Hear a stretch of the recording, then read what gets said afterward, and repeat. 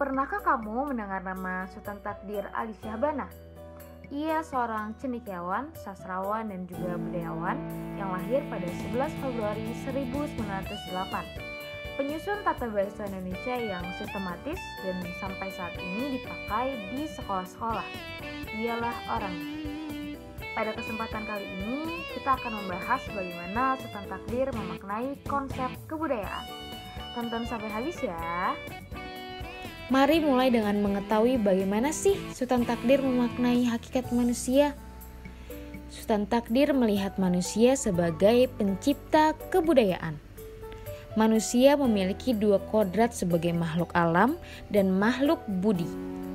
Pertama, makhluk alam yang tunduk pada kuasa alam dalam kehidupan lahir dan jasmaninya. Kedua, makhluk budi yang dibekali akal budi sehingga dapat memilih nilai-nilai pendorong untuk bertingkah laku. Sederhananya, akal budilah yang membedakan manusia dengan hewan. Melalui akalnya, manusia dapat memilih nilai-nilai apa yang harus dia lakukan dan hidup seperti apa yang harus dia wujudkan. Itulah manusia sebagai pencipta kebudayaan melalui proses olah budi dan daya yang akan melahirkan karya. Berdasarkan kacamata Sultan Takdir mendefinisikan manusia. Contohnya, kebudayaan seperti jendela. Jendela adalah hasil karya manusia. Kalau saja manusia hanya memiliki kodrat sebagai makhluk alam, bentuk jendela hanya sebatas lubang pada dinding atau mungkin rumah itu tidak berlubang sama sekali. Tapi sekarang ini bentuk jendela terus berkembang mengikuti akal budi manusia yang terus menuangkan kreativitasnya. Bahkan ada jendela yang otomatis bisa membuka tirainya sendiri. Nah, itulah hakikat manusia dari pandangan Sultan Takdir Ali Syahbana.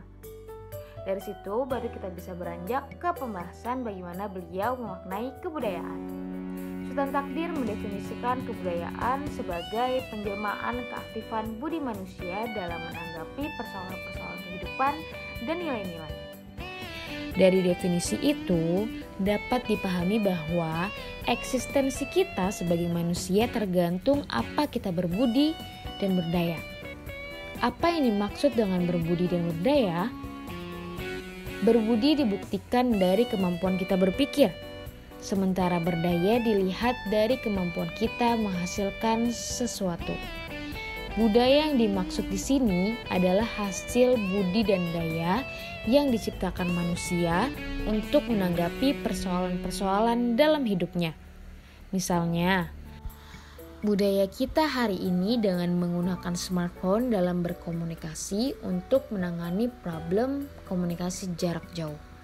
Dari sana, manusia merancang handphone yang akhirnya menjadi karyanya. Lalu, apa saja sih isi dari budaya? Sultan Takdir mengutip Sprenger bahwa budaya berisikan konfigurasi nilai-nilai. Nilai teoritis, nilai yang menunjukkan mana hal benar dan mana salah, nilai ekonomis, nilai yang berkaitan dengan untung ruginya suatu hal, nilai religius, nilai yang berkenaan antara sakral atau profannya suatu hal, nilai estetika, nilai yang merujuk pada tolak ukur buruk atau indahnya suatu hal, nilai politis, nilai yang mengarahkan kepada siapa seseorang harus tunduk dalam hal ini berkaitan dengan kekuasaan.